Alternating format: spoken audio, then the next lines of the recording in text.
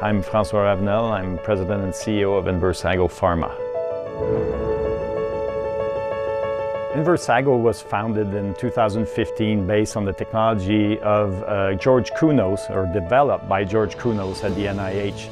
It was founded by Maxime Ranger, a good friend of mine and serial entrepreneur, and I joined in uh, to found uh, the company based on this technology. And so we got really, really excited by the biology, and that was what kind of drove our interest originally. He was a little bit of a wild card, to be honest, at the beginning, um, but I think it speaks to, you know, taking a, an early stage bet on a first-time CEO.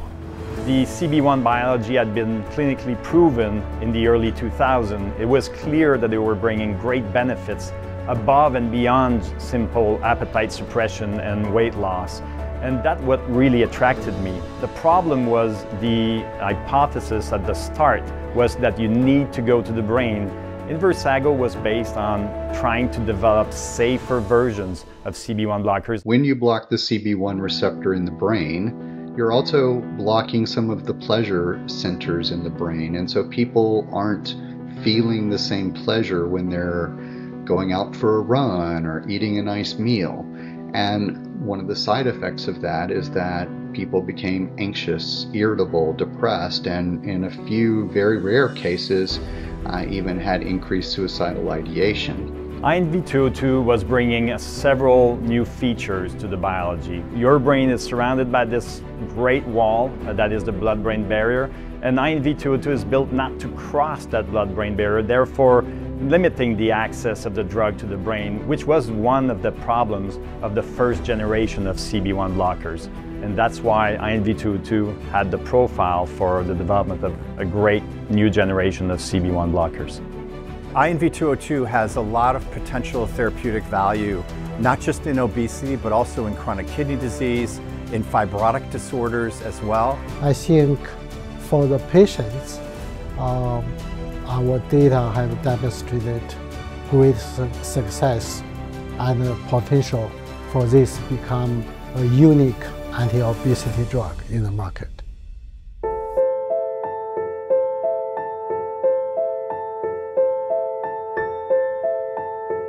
The past failures in obesity by Big Pharma create a, a, a, challenge that was way above my expectations. It might have been a naive conception, but I was developing a drug with a concept that made sense, and I thought people would buy in.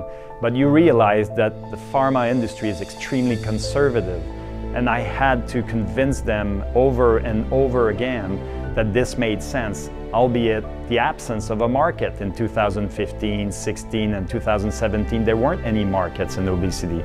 In 2022, my biggest concern was our ability to finance the company because we had built great momentum. We had great data coming out at the end of that year, but we needed the financial support to run two phase two studies.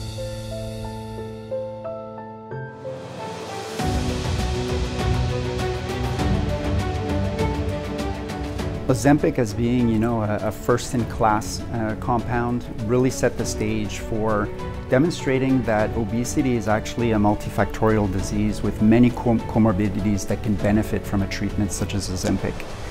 And through that, then it generated immense interest in order to develop other orthogonal approaches in order to treat patients that have obesity, including INV202 and CB1 inverse agonists. All of these compounds are addressing the same biology and are all injectable drugs. Here you'll have another option. The idea that we were bringing back a brand new class of molecules that everybody had turned their back on 20 years earlier really started to gain some momentum. The 2022 Series C financing was an important step in making the company a credible and advanced clinical company.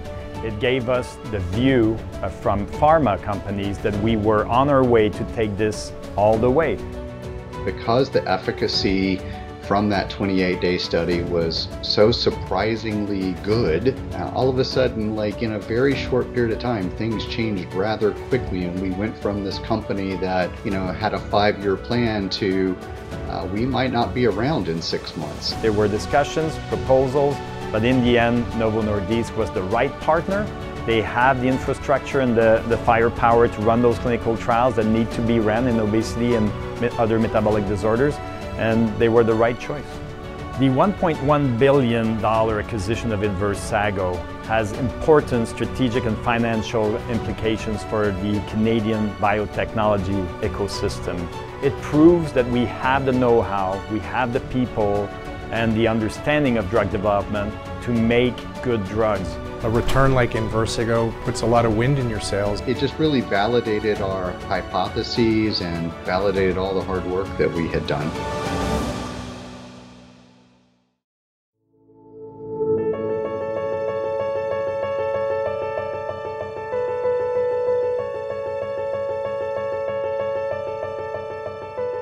If I had to describe Francois and his capabilities in one word, it would be magnetic. Scientifically, he's unique, smart, and business-wise, he have a great vision.